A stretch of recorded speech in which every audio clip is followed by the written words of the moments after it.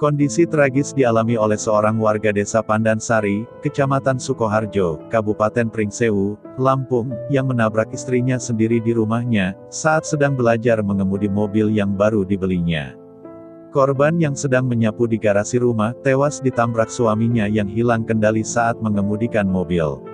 Menurut tetangga korban, saat ia sedang tidur, mendengar suara benturan keras dari luar rumah, ia pun langsung bergegas keluar rumah menuju ke rumah korban, dan mendapati korban sudah berada di kolong mobil.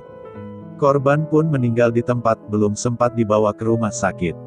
Kanit Gakum Polres Pringsewu, Aibda Deni Waldi, yang mendatangi lokasi kejadian mengatakan, peristiwa itu bermula dari kendaraan yang dikemudikan oleh sang suami, berjalan dari arah panggung asri menuju ke Sukoharjo. Sesampainya di rumah, pengemudi pun berbelok ke arah garasi, dan menabrak korban yang sedang menyapu.